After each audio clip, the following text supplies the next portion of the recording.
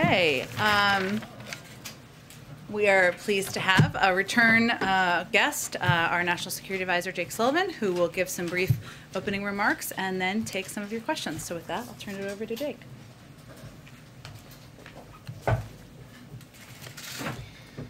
Thanks, Jen. We are deeply moved by the outpouring of support from so many Americans, so many of them veterans, to help Afghan evacuees, those Afghans at risk, our Afghan allies, settle here in the United States. This is the best of the American spirit, and we look forward to working with them in the days, weeks, and months ahead. And with that, I would be happy to take your questions. Has the president decided whether he is going to need more time beyond August 31st to get all U.S. personnel and Afghan people out of the country? The president believes we are making substantial progress. Dozens of flights, thousands, now tens of thousands of people evacuated from the country. All U.S. personnel. Tens of thousands of people. Taliban agreement to extend beyond August 31st? We are engaging with the Taliban, uh, uh, consulting with the Taliban on every aspect of what's happening in Kabul right now. Ultimately, it will be the president's decision how this proceeds, no one else's. Yes. Why, if you knew that there would be chaos, did the administration not prepare the American public for the chaos? So first, I'm glad you asked this question, and I want to take a step back and address the nature of an evacuation in a circumstance like this, and then I'll come to your specific point on messaging. Yes. Yes, Jake. Whether it's August 31st or shortly thereafter, it's clear that all of the eligible Afghans who work for U.S. forces and the U.S. government are not going to be able to get out. And as I said yesterday in comments on the Sunday shows, we will continue to get Afghans at risk out of the country even after U.S. military forces have left. Yes. Why does the president continue to say that the Taliban is facing an existential question about how they'll be viewed on the world stage? I mean, they're going door to door, going after the families of these translators. Don't they already know who they are? So first, the president has been very clear. Uh, thank you, Jake. So Friday, the president said that we got rid of Al Qaeda in Afghanistan. Sunday, the Secretary of State said there is Al Qaeda in Afghanistan. So, are you presenting the president with the full picture, or is he just misapplying the intelligence when he makes these public statements? The president was referring to Al Qaeda's capability to attack the United States repeatedly on multiple occasions. Yes. Does, does the administration regret not moving quicker to evacuate more Afghan civilians who work in the United States? So again, I'm very glad you asked that question. So this refers to the Special Immigrant Visa Program. The Special Immigrant Visa Program has been around for a significant number of years, and it was never designed as conceived by Congress for a mass evacuation circumstance. Thanks, Jake. Th- Does the president intend to fire, reassign, or ask for the resignation of any White House personnel or administration officials who've handled the situation in Afghanistan? I have not heard him say so. It's of course your job to ask those kinds of questions. It's my job just to keep doing what we're doing, which is every day try to get as many people out as possible. What if the U.S. can't get Americans and Afghan allies out of the country by August 31st? But what happens then if the Taliban says they are not willing to extend? Is the U.S. going to abide by their red lines? So I'm not going to take this on as a hypothetical question. What I'm going to say is what I said at the outset. Thank you. Thanks, everybody. Thanks, everyone. Thanks for coming. Thank you, Jake. I'm Don, the Afghan journalist. Go Uh, ahead. thank you, Jen. There are Taliban fighters right now carrying American weapons. They're wearing American fatigues, the full kit of gear. How is that advancing America's national security interests?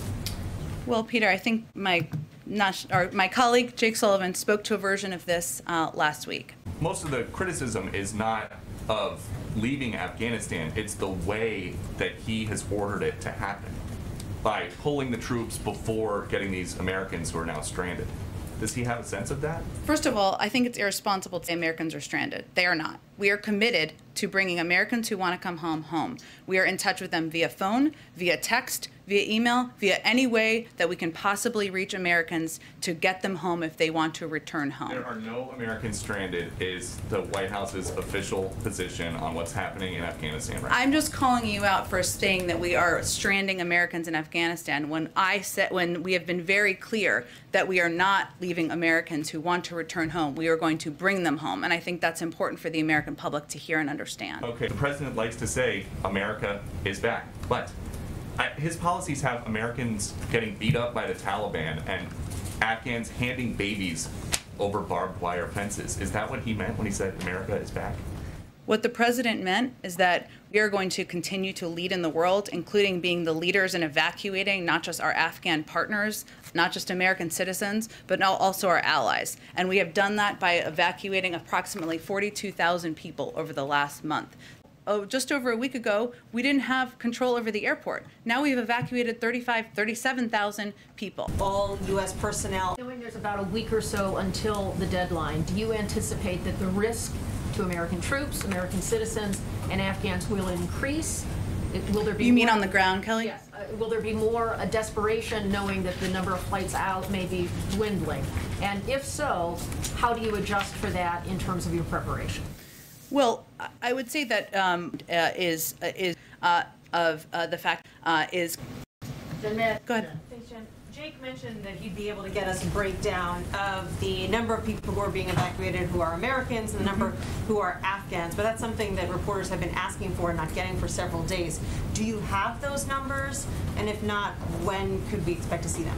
I, I certainly understand the question. Uh, I know that my colleague John Kirby said a few thousand Americans have been evacuated earlier today. As Jake noted, the vast majority have been Afghans. Uh, the president, as you know, has the utmost respect for people who have served, as being a father himself uh, of uh, uh, the uh, to uh, soon. Does, does the president see any substantive differences between the Taliban leadership that exists right now and the regime that existed two decades ago? I don't think we're in a position to make any assessment on that front at this point in time. Our focus right now is on working to get American citizens, our Afghan partners, working with our allies to get them out of the country. Part of that has been a discussion and ongoing discussions with the Taliban about individuals moving safely to the airport. That's what the focus of our engagement with them has been at this point. Go ahead. Go ahead. Jen, thank you. At the risk of this being a yes or no answer, is the president concerned about being put on the spot with these pledges to get Americans out of Afghanistan by the 31st? All those who want to get out of Afghanistan. Is he concerned about being put on the spot with this? By whom? By just the general public opinion or whatever, with these pledges from him, from Jake and others? Uh, Doesn't it put the president on the spot a little bit? The president believes it's the responsibility of any president and the United States uh, to convey to any American uh, that if they want to come home, we're going to find a way to bring you home. Uh, and that commitment does not end on the 31st. Uh, uh, go ahead. Thank Thanks, Jen. Um, Jake mentioned that, that the U.S. would try to extract Americans who are outside of Kabul and other parts of the country. Does that apply also to Afghan SIV applicants who are also in that same situation, trapped in rural areas and they can't make their way to Kabul because the Taliban is, is controlling the roads? I don't have anything operational I can preview for you on that front. I can tell you that our commitment to our Afghan partners uh, is um, is uh, is uh, uh, uh, to figure out the best way for them to safely get to the airport. Uh, last time you briefed, you meant you were asked about the number of uh, SIV-approved Afghans who chose to stay Yep. in the country before the latest sort of chaos that we've seen. You said you might get back to us with an overall figure. Have you have you been able to dig that up? It's really a number, and I understand, and I uh, that your question. Uh, it's really a number the State Department has, um, and it is not. It. Um, you go ahead. Thank you, Jim. I don't have anything to say. Everybody know that. Thousand of people, 14,000 people around of the airport, uh, outside the airport. No food, no shelter. I know. Every single time I get like uh, 20, 30 uh, phone call, contact, everybody's crying, especially women, men. Uh, I know it's difficult for the United States too. um, incredibly heartbreaking and tragic. And uh, you know, I have been to Afghanistan a number of times. Uh, uh, uh, uh, so I don't want them to feel they have been forgotten. They have not, uh, and we will keep them in our hearts. And thank you for your question. Go ahead. Thank you, Jen. Uh, just related to Kelly's question about the polls and the uh, political fallout, is the president concerned about the Afghan crisis causing a loss of momentum and all the other things he's been trying to do? It's a pretty unique situation to have such an enormous domestic crisis with the pandemic, and a lot of people still not wanting to vaccinate. Now the Afghan thing, which is naturally sucking up all the attention and effort and energy, um, and his landmark piece of legislation, this is, which is now hanging um, in the air. Can you just describe, just give us a little bit of an overview of the bandwidth that you have, that he has, for, I'm sure he wasn't expecting to be here, summer of freedom.